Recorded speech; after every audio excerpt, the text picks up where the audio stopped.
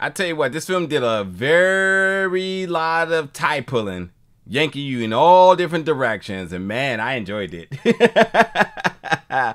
Let's jump into my review of the new film, Deer Camp 86.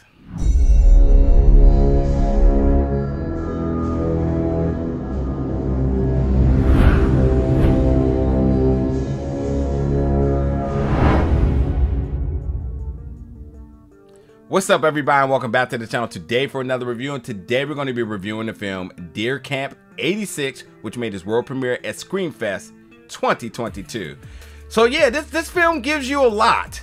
You know, I, I believe the, the the beginning of the film gives you this sort of found footage sort of feeling, and you got these six homies coming together in the bar doing what they got to do, having fun. You know, kind of just they're bros until they run into another group of folks who are racist. So like, here's my thing you went with the bro stuff, you're like, oh, this is gonna be a comedy. And then when you start getting the racist aspect of it, you're just like, oh, this is kind of cringy. Not the film, but like the interaction. And, and so, like, you know, that makes you feel some type of way. But for whatever reason, they were able to balance that with some horror. It just was a lot going on in this film in terms of the different meshing of tonings that, for whatever reason, it worked. I, I enjoyed this film. I really didn't think I would. But uh, yeah, again, um, in the fall of 1986, you got these six knuckleheads from Detroit, and they travel to partake in their annual traditional deer hunting, where again, they go out in the woods, they get drunk, and they hunt some deer. I, you know, I didn't know this was like a tradition. I thought that, I mean, maybe it is, because I know folks that have done this before, which I think is just completely reckless and not something I would ever do. But uh, yeah, they go out there and they do their thing, and um, you know, one thing leads to the next. But I feel like the synopsis definitely leaves out like a couple of really critical points. Like, number one, when they go to this bar where they all catch up at, and that's when they start pounding some beers and whatnot, and they run into that other racist group. You know, there's a there's a bartender there, and she's an indigenous an indigenous woman, um, a native at that, and you know she's a sweetheart. She takes the light, she she she takes the light to one of the the the the the, the, the good six and one of the racist folks is definitely being racist towards her. It's a shit show. That's just what it is. Um, and she's murdered. And now the investigation leads to think like, okay, who was all there? They think could it be these other six folks that came from Detroit, these out of towners, or could it be the racist folks? They're just trying to get to the clue of it. However, because of this, you know, very untimely murder and situation that happened, and obviously this is a really upsetting to the the one guy that was really digging her. You know now the toning of the trip is a little off but beyond that too yeah uh this seemed to have awakened awakened what I like to call a folklore here because there had already been whispers about a particular little spirit or or something in the woods that seeks revenge every once in a while what causes it how does it happen all these things are going to be answered in the film. So it, it, you know when you when you when you when you have already this dynamic of these rednecks versus this group of shitheads as they call them uh, and then you got this other bystander of a spirit that comes through and, and, and, and targets anybody it becomes a very unpredictable film because now you're playing like triangle defense or offense and trying to determine your own safety for this trip that they still are trying to go forward with even though all the signs are saying you probably shouldn't. So yeah it, you know once the supernatural element gets uh, brought into this film the film just gets completely crazy.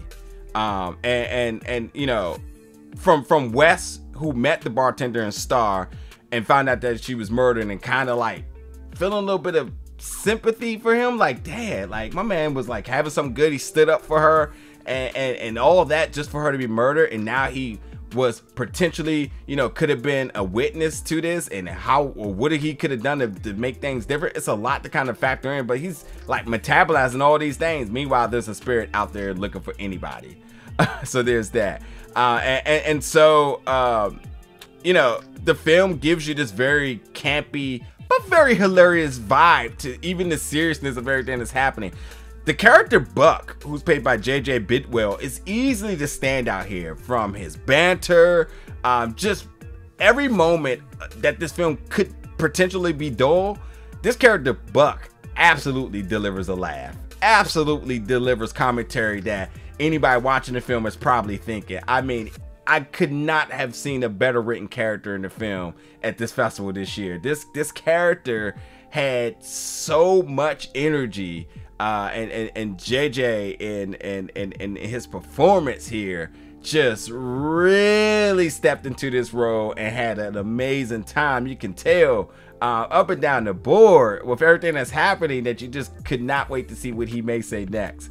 Uh, so there's that. But I, I think too that um, this this this this film does focus a little bit on the psychology of like this supernatural being, like understanding like why this being does what it does, you know, why and who uh, do they attack when necessary. So like you know, it's it's it's, it's raunchy. It, it has its bro moments. The banter, uh, for certainly between the bros is definitely on lock. Uh, tons of beers, so you know you get get that aspect of it as well too. It even gets a little gory and and I and I and I think that even with the gore, it never really takes itself serious. It always maintains a level of just comedy to it. Uh, and, and, and I thought that the monster reveal, um, you know, I, I thought that yeah, you know, it it, it kind of gives you a little bit of a slasher feeling, like a traditional slasher film, um, but not so much traditional. Little tweaks to it that kind of really makes it his own.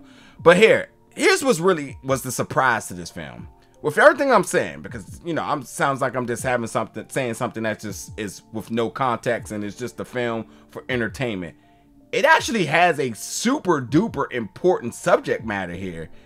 So with all the shenanigans, it certainly still makes a point to put the emphasis on missing indigenous women and the awareness of that. And I thought that was a very nice touch to kind of leave this film out on. To kind with everything that's happening to to educate you that like while this incident or what happened in Star, this seems like a, a plot point that sometimes these things just really do happen and there is really no you know support or or or or, or anything for these women so beyond it, it being you know in a sense of murder or just a sense of just kidnapping indigenous women go missing and the fact that they're bringing awareness on that and they put a couple of scenes in here to really put a, a, a focus and, and on that I, I and, and, and the educational aspect too, I thought was really dope. I really thought it was really, really dope. I seen another film last year that did something like this. Um, and so co- continue to spread this message, I think is to the utmost importance. And you can still do a comedy film with some horror uh, and, and, still educate uh, within it, and it worked. And I, that's what I thought this film did a fantastic job in like really saying like, hey, you know, wanted to give y'all something that you can enjoy, but also want to make sure you understand why I wanted to make this film. And I thought like the, the director, Chef's Kiss, that's a, a very amazing touch here. So I really enjoyed this film. Deer Camp 86. Listen, just one thing to take away from this film, JJ Bidwell needs to be on your radar. I got to see more films here got to see more films from this guy. So funny in in in his acting of Buck that oh man, I just I got I just got to see more. I got to see more. But yeah, folks, jump in the comments. Let me know your thoughts about this film when you check it out. And as always, stay tuned for more reviews very soon.